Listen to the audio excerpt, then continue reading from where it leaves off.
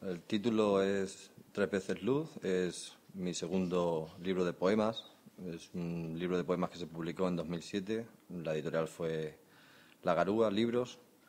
Es un poemario que principalmente trata sobre la enfermedad y el amor. Y el primer poema que voy a leer de este libro se titula Sobre el nivel del mar.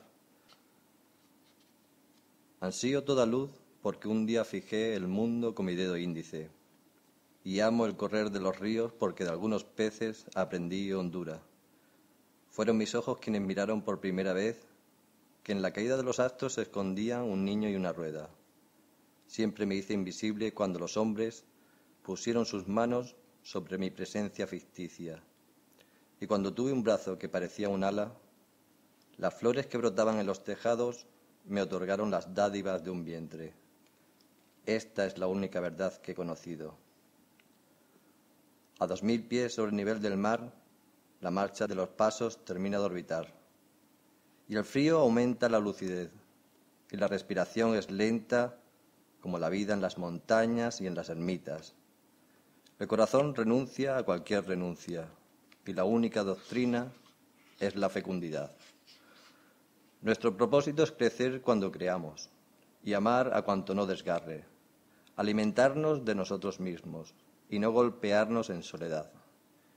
Y que cada vez que el mundo sea la primavera, nos despojemos de cuanto fuimos y seremos, formando la columna que enlaza nubes, espacios y semillas. El truco no es difícil ni complejo, solo se necesitan algunas dosis de serenidad, concentración y sencillez. A seis mil pies sobre el nivel del mar y subiendo, los ojos van perdiendo su nostalgia y para no cegarnos tengo que demostrar mi certeza en las diferentes artes de la distancia. Y para que no se dilanten las venas, el oxígeno tiene que ser lo más escaso posible. Se aligeran, se aligeran las manos, los pies, el pecho. Los lastres se reducen. Las personas que un día me nombraron hacen el mismo ruido que las hormigas. Sigo el rastro de los cometas, de las galaxias que se comienzan cuando un huevo se rompe, de esa gracia tan tuya de armonizar mis extremos. Solo me he dado opción a mudarme en un hoy, en un hoy que renace, confirma y desprecia. Poco importa la muerte ahora, poco importan las palabras ahora, poco importa que el mar haya expulsado a quien movía su repetición.